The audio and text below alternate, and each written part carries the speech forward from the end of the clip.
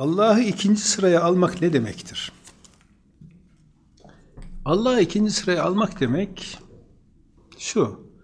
Karşılaştığınız herhangi bir olayda ilk önce ne düşünüyorsunuz? Acaba bu Allah'ın emrine uygun mu değil mi diye. Yaptığınız herhangi bir işte ne düşünüyorsunuz?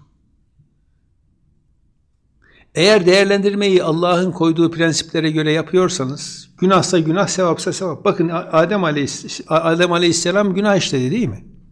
O ağaçtan yedi mi?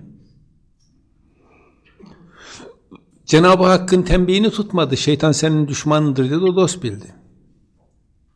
Ama Allahü Teala niye böyle yaptın dediği zaman değerlendirmeyi neye göre yaptı? Dedi ki ya Rabbi ben suç işledim. Eğer beni affetmezsen ben kaybettim dedi.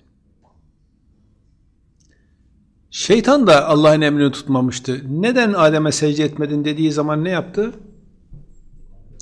Değerlendirmeyi kendine göre yaptı, Allah'a göre değil. Ben daha hayırlıyım dedi.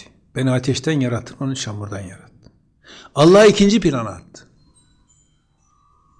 Değerlendirmeyi Allah'a göre yapmadı, kendine göre yaptı. Ama Adem Aleyhisselam değerlendirmeyi Allah'a göre yaptı.